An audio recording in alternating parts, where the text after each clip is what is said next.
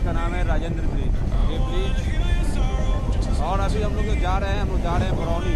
हाथी डाब पीछे छूट गया। हाथी डाब से हम लोग जा रहे हैं बरौनी। और ये ब्रिज दो किलोमीटर लंबा है। ये उन्नीस सौ उनसठ में बनकर तैयार हुआ था मुख्यमंत्री श्री कृष्ण सिंह। इन्होंने और जवाहरलाल नेहरू, जो हमारे उस समय भारत के प्रधानमंत्री थे, उन्होंने इसका उद्घाटन किया था। और अब तक ये ब्रिज चल रहा है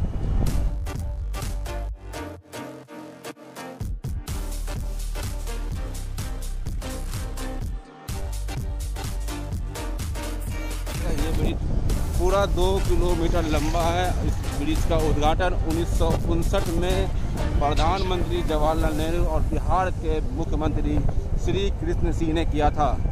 इस ब्रिज की खासियत ये भी है कि इस ब्रिज के नीचे नीचे जो है ना, नीचे पानी नहीं है।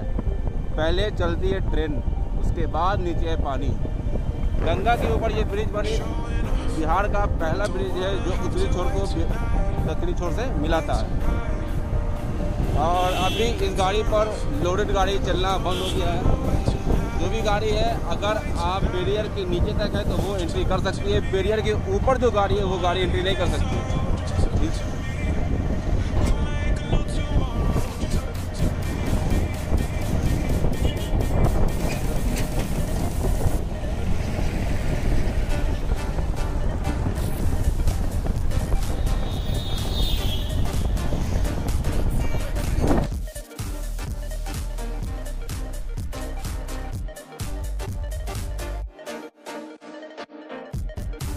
तो देखा दोस्तों, ये जो ब्रिज है, ये ब्रिज उन्नीस सौ उनसठ में बनाया गया। इसके बाद एक ब्रिज इसके समानांतर में बनने जा रही है, जो 2021 में कंप्लीट होगी।